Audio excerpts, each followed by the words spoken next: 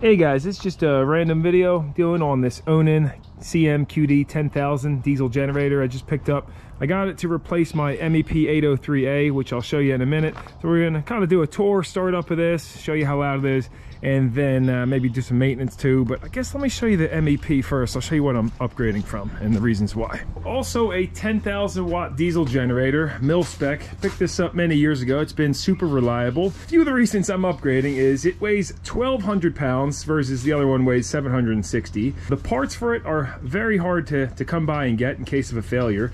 takes two 12 volt batteries to start it, it's, you know, 24 volt starting.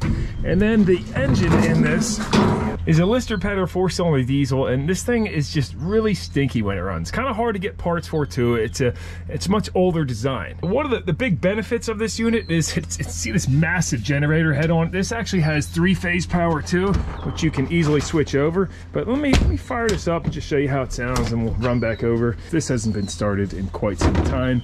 Uh, only 286 hours on this unit, and check this out. It's pretty cool. You can pop those two. Uh, tacks off and here it goes.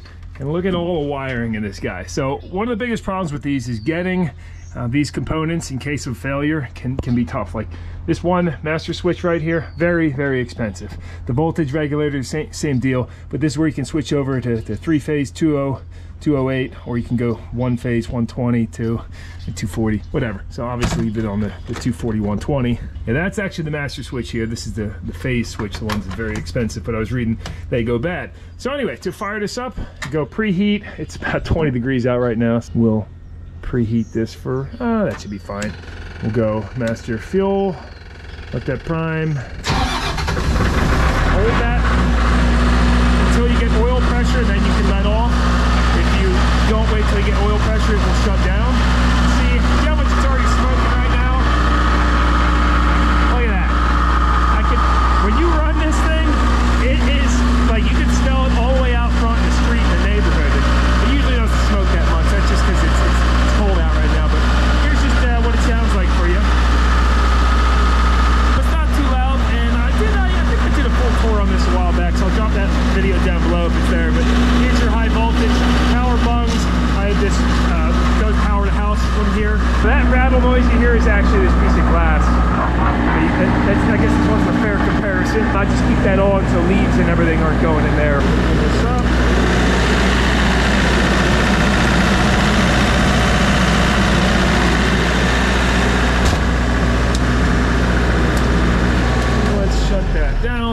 You can see I've turned this into a trailer because I don't have a way to move this around otherwise. My tractor can't even lift it. This does have a built-in nine gallon fuel tank with a real nice fuel strainer that comes in here. And then if you want to hook it up to an auxiliary tank, it actually has another pump built in so you can just run this to, I pumped all the way from my basement tank with this little pump in here. So that does work very well. And I suppose that concludes the brief tour on this. I think my favorite part is the instrument panel. Lots of uh, information there for you, right? It does have a trailer tongue, but it's removable and you just slip it into that two inch receiver. Okay, and back to the Onan. This only needs one 12 volt battery to start. It does not have a built-in fuel tank, but you can see this one came with an aluminum tank off of a, a reefer trailer. The biggest reason I upgraded is because this has a Kubota D1703, 1.7 liter three cylinder diesel, and it runs super clean compared to that old Lister Petter. Uh, just, just a much, much better engine. Let me show you what that looks like inside. Um, there's not as much access to work on this. Uh, I haven't done any maintenance yet, so I'll probably do an oil change and check the air filter and such. But uh, it's much more compact design. It does kind of stink that it doesn't have more covers that come off. Looks like you, you, know, you do have all these 10 mil bolts to take off to expose everything, but let me fire this up for you now. No three phase on this though. Not that I need that, but maybe one day I'll have a lathe or something I need it for. I've just got it hooked up to a jump pack and to start, you simply hold that down. It's gonna preheat it for as long as it needs to.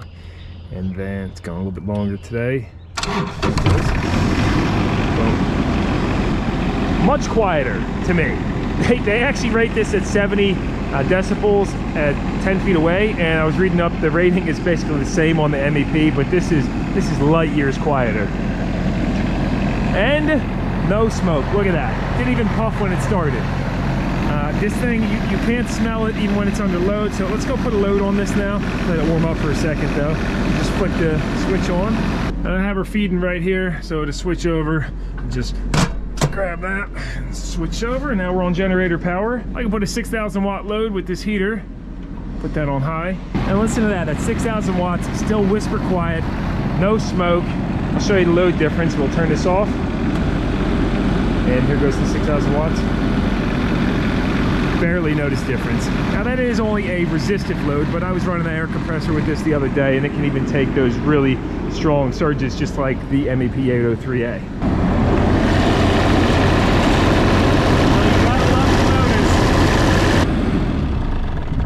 And now I think I'll do some basic maintenance on it and then mount this somewhere as my permanent home backup generator. This is really rated as like a mobile generator, but for the amount of times I'm gonna use it, this, this will work just perfect. And then I'll, I'll keep the MEP still for when I need three phase or in the event I have to tow it on site. Uh, you know, that works good for that too. After removing a handful of 10 millimeter head bolts, you can take the lid off and look at all the access we have now. The muffler, the starter, alternator, water pump, everything is super easy to get to. You can fill the oil up here or you have, aux you have an auxiliary fill right here that goes into the bottom. Here's the oil filter. Uh, down under this cover is the fuel pump and then there's a fuel filter behind it, uh, that, that little little gray box right there. So that seems a little bit tight to get to. The air filter, you take off three bolts. Taking your coolant bottle out, which actually has the rad fill on it. There's the radiator cap right there, goes into the cooling system. Now you have access to get the air filter out. You pop those latches, pull that back. And look at that. I'll blow that out since it looks fine otherwise. By the way, this does have, oh, I got some water in there, but this has 1,215 hours on it. Here's a better look at that panel and some of the service information in case you guys want to look at that 6.7 quarts of oil. Got some part numbers there without my finger in the way and 1540 is probably the best oil to run in this. Under this cover is your main electrical hookup and then I assume this is for a remote control to power, uh, power this. One thing I like is that the radiator is on the bottom. You do want to make sure like there's no screen or anything. You want to make sure you don't puncture that and I can actually feel it's it's kind of caked up with crud so I'll have to make sure to clean that rad but uh, like on the MEP it's sitting up here and has that you know all the rainwater and everything's just entering in there. It's got a big drum fan right here. You probably can't see it that well but that's attached to the front of the crankshaft. It's pulling air in through the radiator across the engine and then back out the bottom it's a little inconvenient to drain the oil. I was just looking up, should be on the bottom, so I'll, I'll, have to lift this up, or I suppose you could pump it out if you wanted. On the MEP, it's super convenient. It's got an oil drain right on the side. So you just put a little funnel under that, and then look, just one ball valve. It's got a fuel drain, and on the other side, it's even got a coolant drain. Where's that at? Oh yeah, right over there. It's got a coolant drain there. Those are pretty convenient items, but the other huge gripe with these are you would think it's easy to take all these covers off, but it's not. There's actually nuts on the back side of all of these screws. You see that? As you go zipping them off, well, A, you end up losing the nuts, but what else happens is they rattle apart over time, so this thing vibrates, and then the nut goes and gets lost in there and the bolt falls out.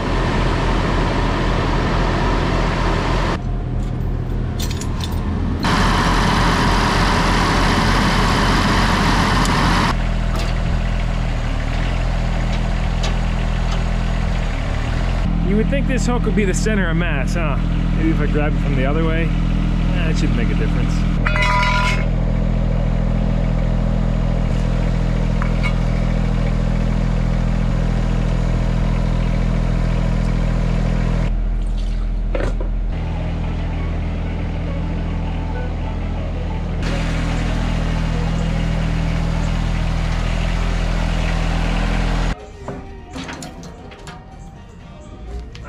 Plenty sturdy. Look at that.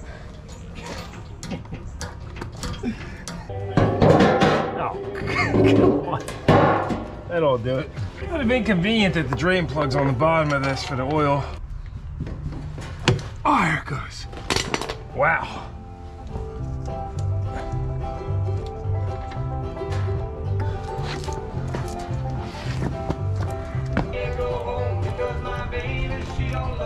She gonna be a leaker?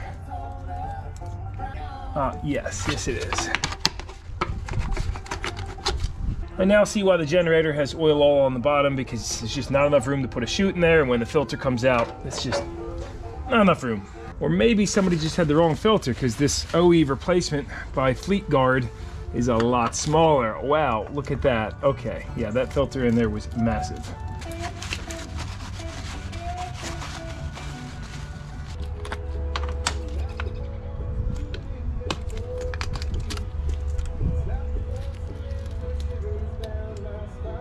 I'm not gonna lie, this fuel filter location's not great. Unless, what do you take the whole bracket off maybe?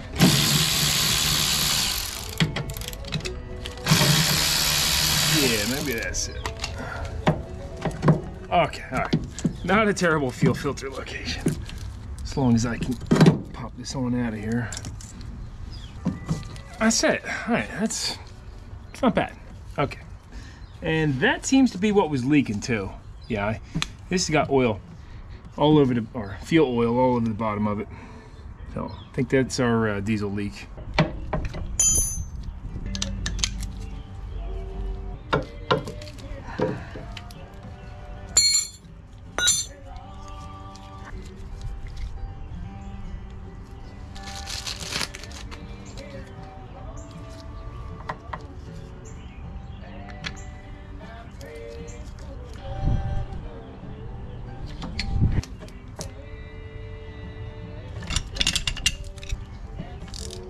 Just shove her back in there. Make sure you don't kink the hoses.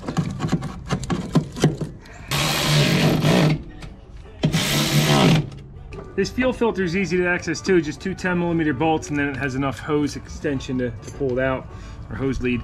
And I did find uh, this guy on the other side was loose. I got a full turn out of it and then some. That could have been the fuel leak too.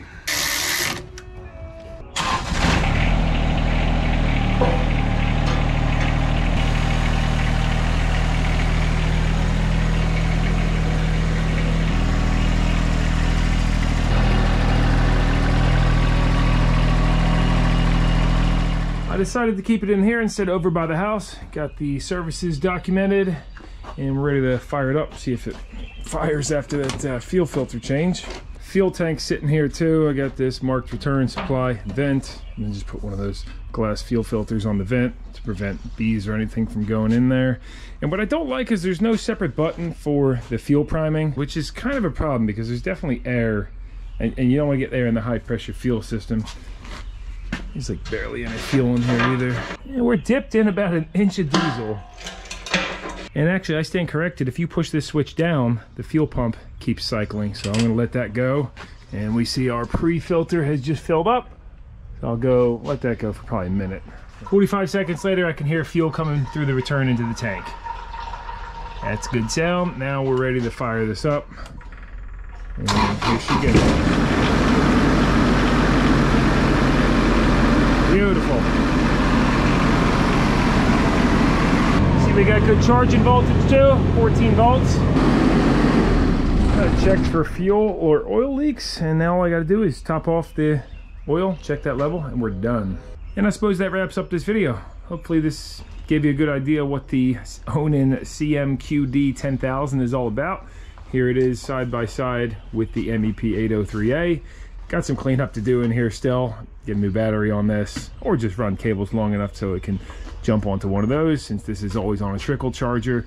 And yeah, maybe lift it up one day on a rack so you can put more stuff in here. Thanks for watching if you did, and hopefully see you in another video. Thanks guys. No Nonsense, Know How. Over out.